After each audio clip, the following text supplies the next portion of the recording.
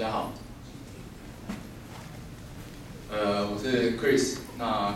我目前是在呃富格创意工作室呃工作，那同时也是现任的就是 Juko 的站长这样子，那我们有好几位站长，是其中一个就是比较算是设计师背景的，那其实我做的事情蛮多的，呃，我同时我有时候是 designer，有时候会做一些 front end，然后经常的话也是在 Juko 的 CMS builder。然后偶偶尔也会去管一下伺服器啊，然后没事的时候我们公司还有做设计，另外设计巧克力这样子之类的。那可能大家，所以我其实我自己的背景是蛮蛮复杂，所以很多人问我说你到底是 designer 还是 engineer，我也没办法回答这一个。那我只能说我念我念设计，然后可是我曾经也在就是校园网络里面工作管伺服器这样子。所以可能很也许在座的人可能不见得知道我是谁，可是大家一定有看到这张图。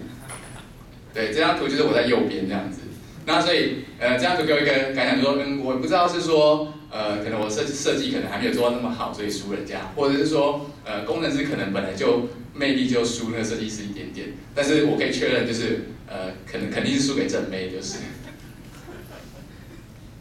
好，那废话一下这样。那这个是我就是在公司里面有承接过一些就是网页的一些案子。那其中里面，因为今天是讲 RWD 嘛。那我就把几个呃案子，那还有包括就是我们协助诸侯去做的这些网站，那这几个就是有，呃应该说就是套用 RWD 这样的设计的网站在里面。所以说今天第一个要来跟大家讲的，当然是有第一个 j u p o 呃，这个是在在欧洲那边的一些 j u p o 他们就很很宅的，然后就把这个 j u p o 画成超人的东西，还有那个漫画，如果有兴趣的话，可以改天找我来借来看，那漫画真的。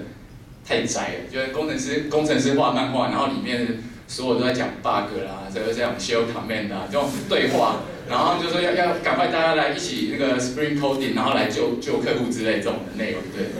就还蛮无聊的啦，对。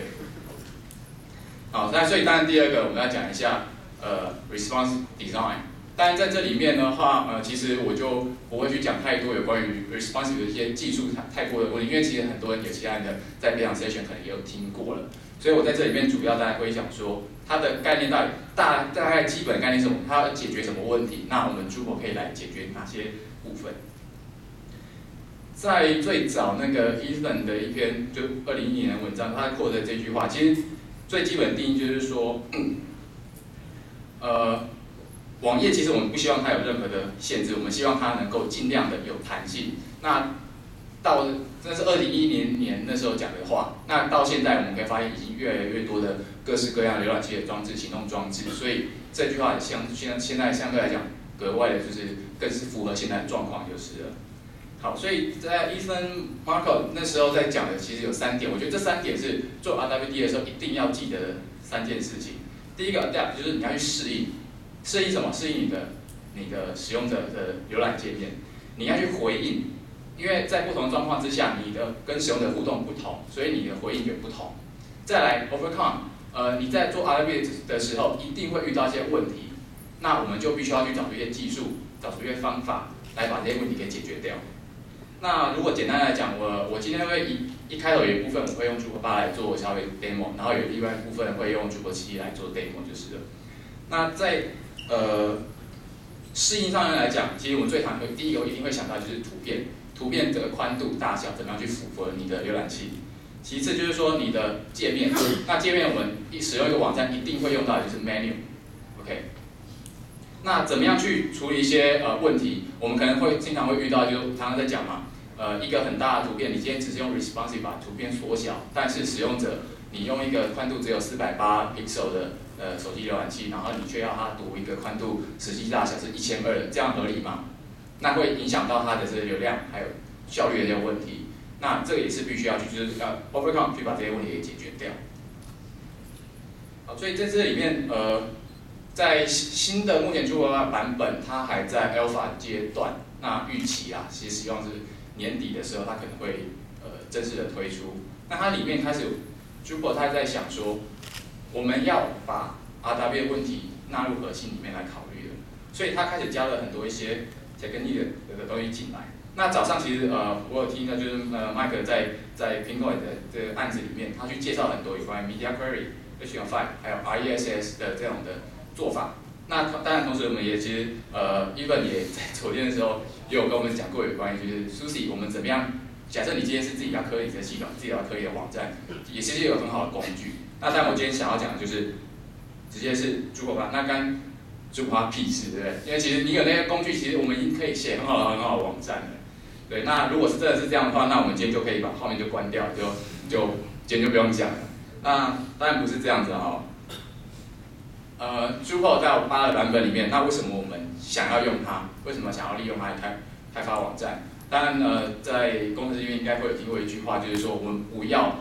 永远都在造轮子，我们希望可以是利用别人的东西，啊，然后一个整合的东西，然后你 focus 在你的 content 做你的内容。那这些技术的问题，我们尽量交给一些比较好的架构来处理掉。那也当然也是同时，为什么我们要用很多不同的 CSS 的呃 framework 哦，不同的 PHP 的 framework 等等的。所以在 Drupal 八里面，其他有几个重点，就是说它的 core 核心的一些版型程式，它都已经做好它的 v i d e o 设计了，然后它也直接呃把 HTML5 应用进来，在它本身那一届的这个 form 的格式也都可以应用 HTML5 的 type，就是包括 input type，包括像那个 URL form 那些的。然后，但对于向下相容，比如 IE 八七以前的版本，他们也已经把 HTML5 shift 给加加入这个核心里面来。那同时有考虑到一些 breakpoint 的问题啊，那我们怎样去利用呃 picture field 这个 S 这个模组，它也纳到核心里面来，对于一些不同浏览器，我们可以做图片大小跟 breakpoint 的对应的问题。那当然还有很多很多这个 thing，像呃，比如 Zen 啊，或是 Adaptive Theme，或是 Bootstrap 这一种的，其实也都很多人把一些很好用的一些版型的架构都已经纳入到主播里面来了，所以你不用担心说。今天你想要用别的这个版型架构或 C C S 的架构，会没有办法在 Drupal 里面去应用。好，那这边我就截几个画面，说，哎，这是 Drupal 八新的它安装的画面。那但安装这其实没什么，但但在一个重点就是它比以前漂亮很多了。但可是它其实厉害的是，你今天想要在手机上面安装的时候也可以，它连安装画面都已经 responsive design。那你当然会有人问我说，啊，我我怎么会在我手机上面去安装网站？呃，这个我今天问题我自己早上问了我自己一次，然后有没有这个可能？其实是有的，因为现在主播他有一个有有人在网站上面做一个，就是好像三十分钟，你在线上直接安装网站，你不需要管你有没有 MySQL，你不需要管你那个伺服器，你只要去登记一个账号，然后说我要安装 Drupal，他线上帮你安装，你三十分钟可以去测试。他呃，我这边他叫呃 SimplyTest.me，那如果大家可以。查的话，我这边没有写到，可以去查那个网站。那这个时候我就可能用我的手机，我想要很快 demo 给客户看的时候，我可我的就会在上面安装了。好，那这安装好的界面它大概是长这样子。它这个选单界面跟呃以前的版本已经有很大很大的不同了。哦，它在呃垂直的这个手机的版本上面，它会自动变化，然后变成下次的选单。那呃可以看到有一个比较特殊，就是说我们手机上面怎么样去编辑。编辑内容，呃，它有一个编辑模式，然后通常我们如果在 desktop 的时候，这一个这个编辑的符号，你只要移过去就出现，但是手机不行嘛，它没有 hover 这样的行为，所以它就加上这个编辑模式，所以你就可以在这个地方去编辑区块、编辑文章内容、编辑文字等等。好，这是就是朱 l 八的它可以做的事情嘛？其实不止，它还有一个很。还没有进入核心，但是我还蛮其他的功能，就是说，既然它是一个 RWD 的网站了，那它可不可以自己测试一下自己？OK，有这个东西。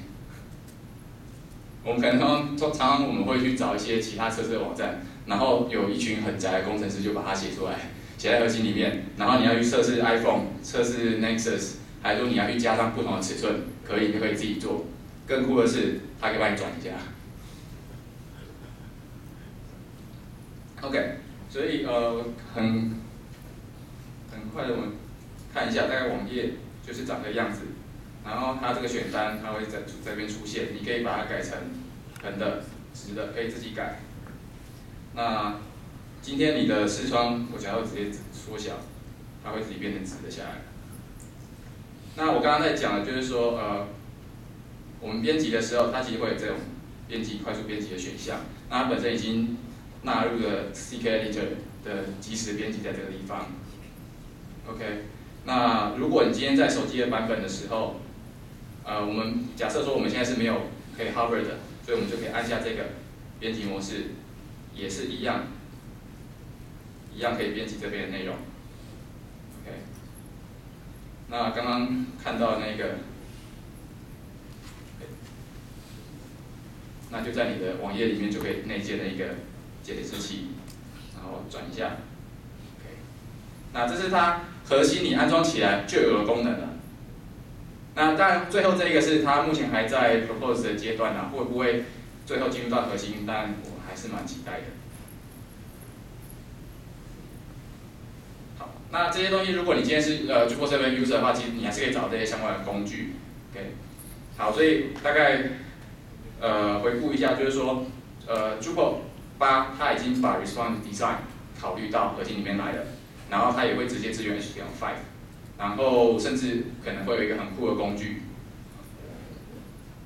好，那在讲 Response Design 的时候，其实同时我们现在讲到，呃，先讲一个比较呃问题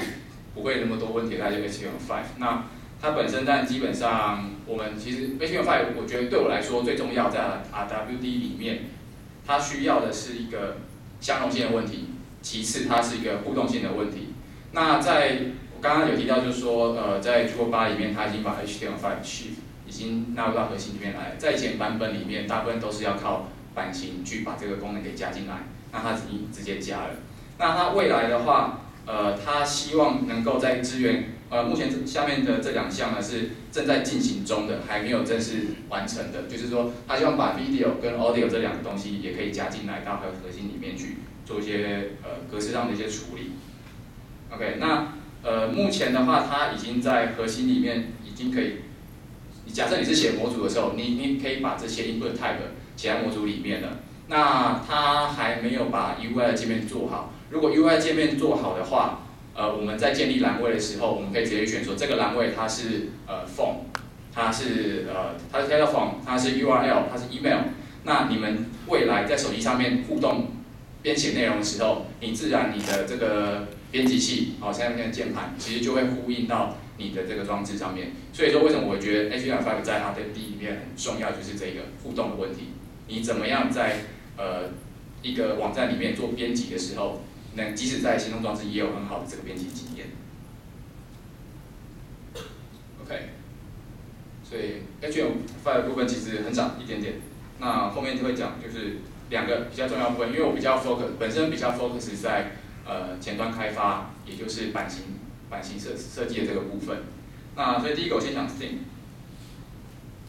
呃，在 j 里面，其实最常用的三个基础的 theme 就是包括 Zen，它目前是应该是一直以来的第一名。然后第二名跟第三名就是 Adaptive Theme 跟 Omega。那这三个他们都已经写了很好很好的，就是对 RWD 的直接的支援。OK，那其实它呃。很酷的这件事情就是 Zen 的这个开发者目前也是我们台湾，他也住在台湾，他是个美国人，他是台湾女婿，然后呃就是住在台湾，所以我们还蛮多蛮少有机会跟他一些请教这样子。那这些事情它其实有有一个共通点，就是说第一个，它从七的版本的时候，他们就他就已经把 HTML5 的这样的格式写在里面了，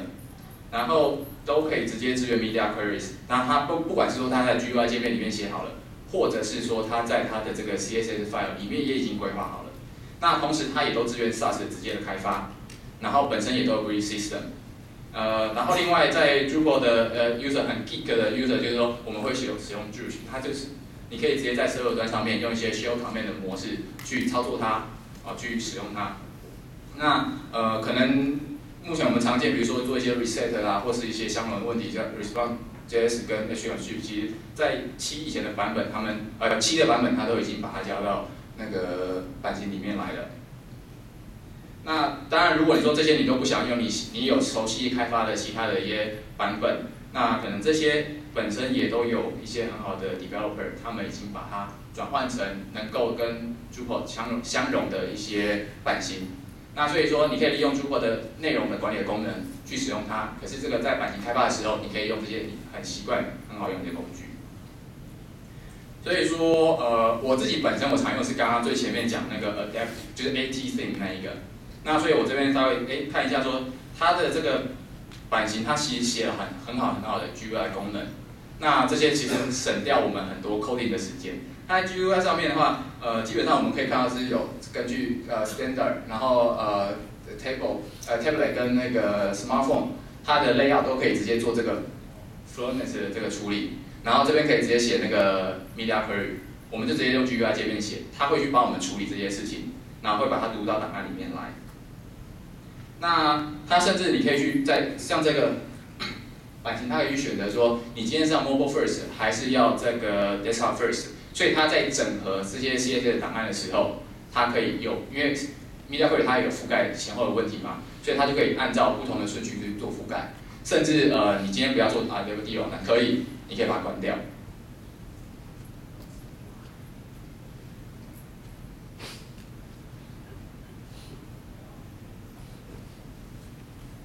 大概看一下，说这个版型，其实我们以这下面这四个 color 来看的话，我们在移动的时候，给它在比较小的时候是两蓝的，在小下去的时候可以变成就是变成单蓝式的。那这个我们在如果要透过这个版型直接改的话，它的功能可以怎么做？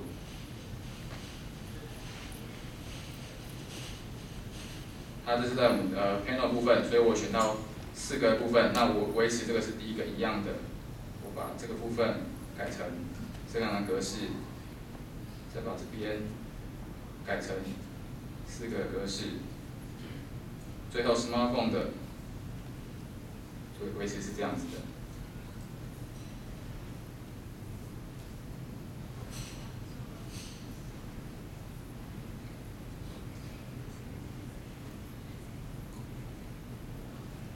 那刚刚那个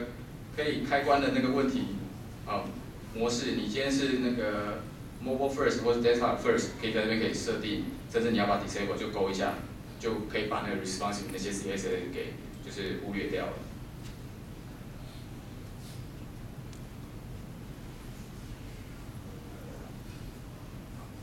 那我开了就是开发模式，所以可以看到把这个区块比较明显的把它标示出来。那刚刚我们把它改成是左右是上下，然后右边两个是这样左右的，所以它就已经马上可以符合过来了。OK。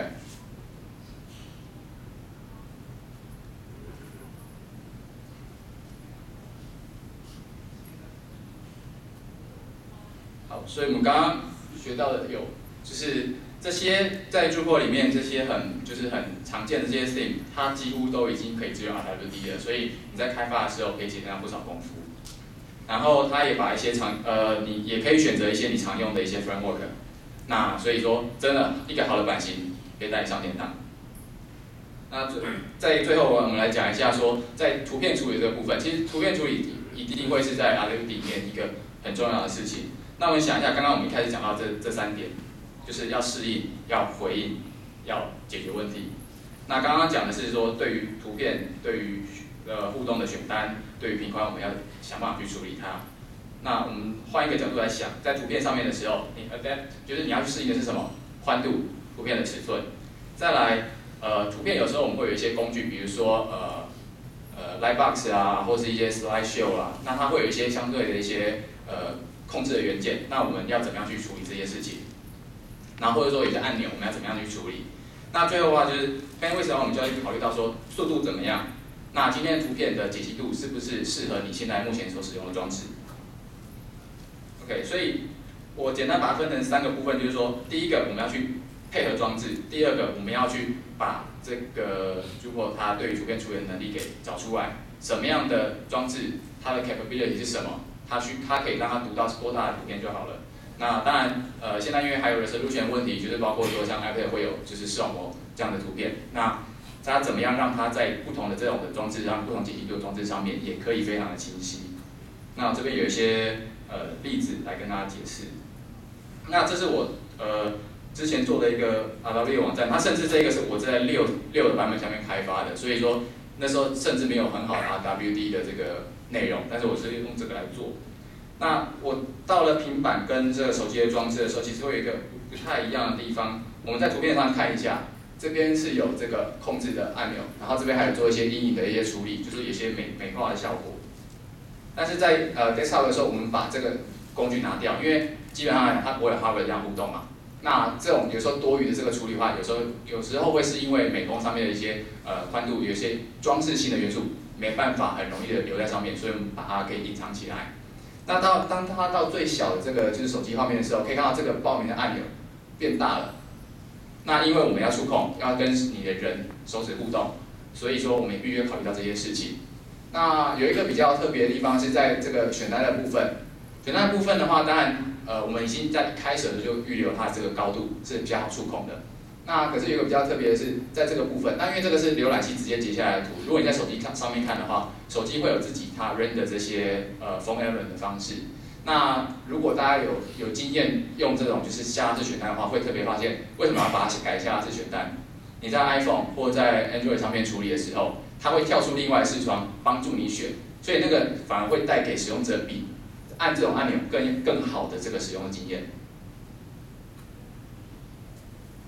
那所以刚刚只是单纯的对一些图片、对一些呃元素做处理。那我们刚刚另外讲的呃最后一点，也就呃第二跟第三点就是 capability，还有这个就是呃 bandwidth，这是 performance 的问题。那在 Drupal 八里面，其实我们开始有一些比较好的工具可以来应用。第一个是我们其实，在 Drupal 里面可以常可以做一些 image style 预先处理，也就是说，你上传上传一张图片，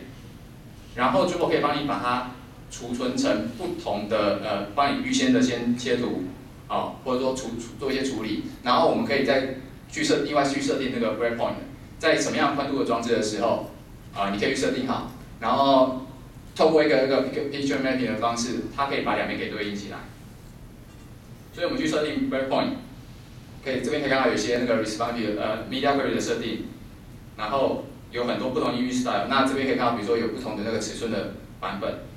然后我们透过呃 picture mapping 的部分就把它 match 起来。那它的 code 就看起来类似这样，它就是就是利用那个 picture field 的方式，那可以在不同装置的时候，在这个地方去读取不同路径的这个档案。那这时候你下载的时候，第一个它会先了解你的尺寸是多大。那就下载适合图片大小就可以了。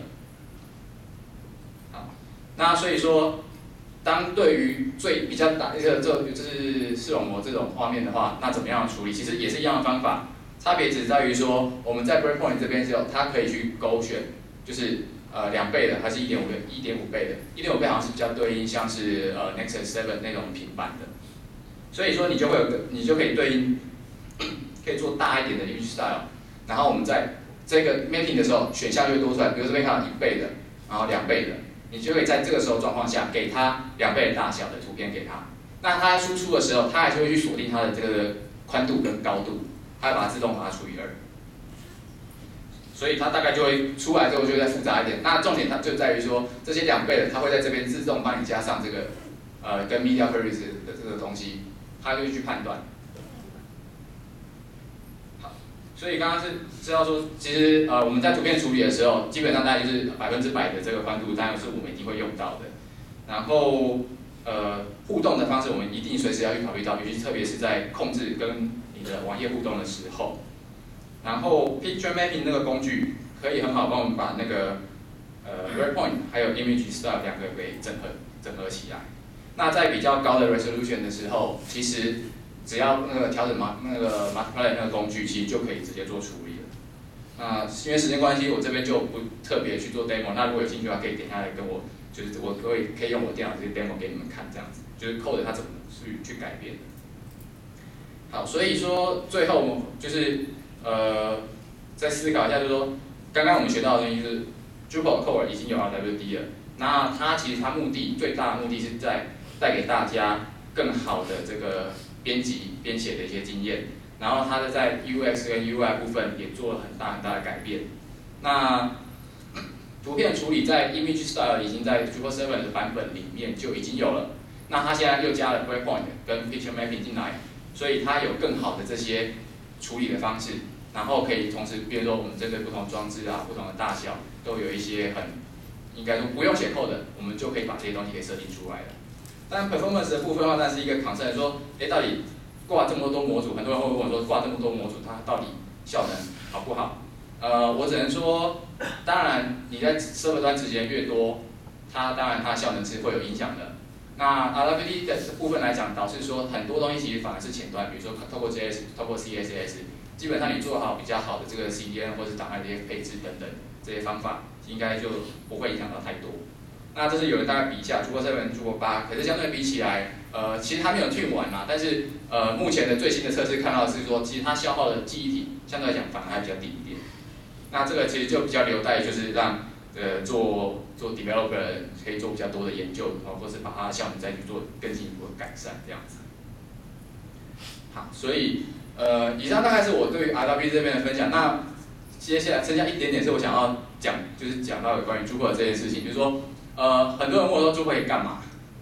然后我说，呃，它可以做网站，什么网站？